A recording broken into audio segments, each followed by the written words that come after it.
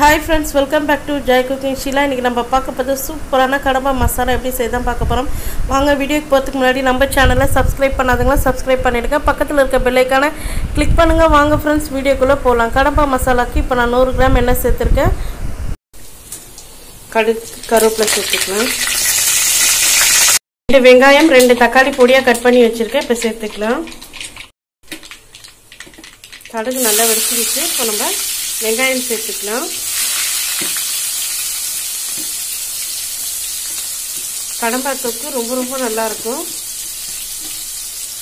ரொம்ப ரொம்ப ஈஸியான இன்க்ரீடியன்ஸும் ஈஸியாக செஞ்சு முடிச்சிடலாம். இப்போ கொஞ்சமாக சால்ட்டு சேர்த்துக்கிறேன். வெங்காயம் நல்லா வதங்கிறதுக்கு. அரை ஸ்பூன் மஞ்சள் பொடி சேர்த்து நல்லா வதக்கிக்கலாம். அடுத்ததான் நம்ம ஃப்ரெஷ்ஷாக அரைச்ச இஞ்சி பூண்டு பேஸ்ட்டு சேர்த்துக்கலாம். வெங்காயம் ஓரளவு நல்லா வதங்கிடுச்சு. இப்போ தக்காளி சேர்த்துக்கலாம். ரெண்டு தக்காளி பழுத்த தக்காளியாக சேர்த்துருக்கேன் இப்போ நல்லா வெங்காயத்தோடு சேர்த்து நல்லா வதக்கிக்கலாம்.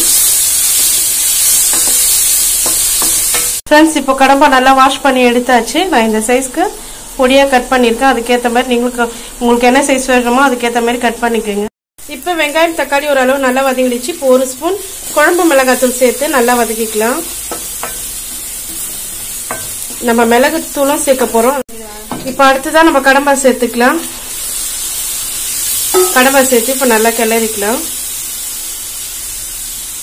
தேவையான சால்ட் இப்பயே சேர்த்துக்கலாம்.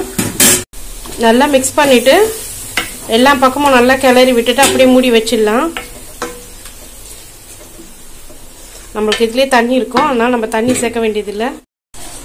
இப்போ பாருங்க நம்ம கடம்பால தண்ணியே சேர்க்கல. நம்ம மூடி வச்சதுல எவ்வளோ தண்ணி இருக்கு பாருங்க. இப்போ நம்ம மிளகுத்தூள் சேர்த்துடலாம்.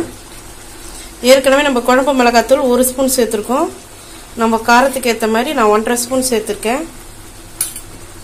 இப்போ சேர்த்து நல்லா மிக்ஸ் பண்ணிவிட்டு மூடி வச்சிடலாம்.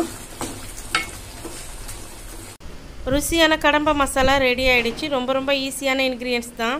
நம்ம சப்பாத்தி தோசை இட்லி சாதத்துக்கு எல்லாத்துக்கும் நல்லாயிருக்கும். ரசம் சாதத்துக்கு சாம்பார் சாதத்துக்குலாம் ஈஸியான சைட் டிஷ் கண்டிப்பாக நீங்களும் ட்ரை பண்ணி பாருங்கள் அல்டிமேட்டான கடம்ப மசாலா ரெடி ஆகிடுச்சு கண்டிப்பாக பாருங்கள் பார்த்து லைக் பண்ணுங்கள் ஷேர் பண்ணுங்கள் மறக்காத சப்ஸ்கிரைப் பண்ணுங்கள் நாளைக்கு வேறு ஒரு வீடியோட பார்க்கலாம். Bye friends